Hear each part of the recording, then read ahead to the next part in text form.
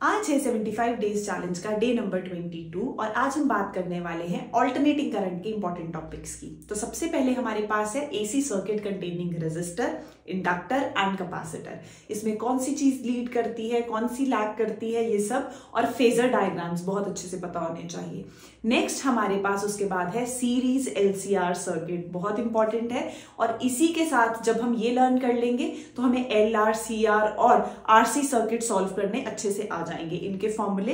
impedance triangle series LCR circuit की resonance condition बहुत अच्छे से करनी है उसके ग्राफ्स और साथ ही में हमारे पास एवरेज पावर के फॉर्मूले आ जाते हैं और क्वालिटी फैक्टर नेक्स्ट हमारे पास जो इंपॉर्टेंट टॉपिक है वो है ट्रांसफॉर्मर ये बहुत अच्छे से करना है।